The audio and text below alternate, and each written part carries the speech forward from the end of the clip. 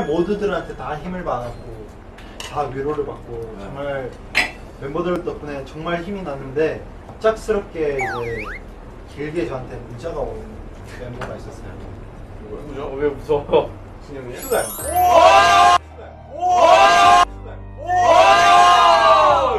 진짜로? 와 내가 상상도 못했다. 솔직히 저는 왜 왜 왜 상상 못해? 왜 왜? 왠지 알려줄까? 난 너한테 메시지를 다섯 번도 못 받아봤기 때문이지. 그것도 한 줄. 진짜 맞아. 더 예상도 못했었고. 오 야 진짜. 네. 근데 이만이야. 중간 말은 다 이제 생략하고 맨 끝말이 전 되게 기억에 남는구나. 네, 처음 들었어요. 하지마!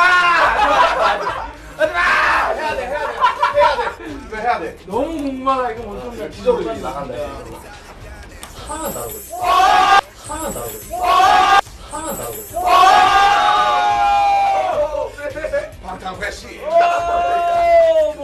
진짜 나왔다 진짜 나왔습니다. 그래서 진짜 한 10분 동안 울었다. 어, 시간 없었어요. 진짜 10분 동안 울었어요. 와, 나 수강한테 사랑한다 그런 적 있나? 야, 나도 없어.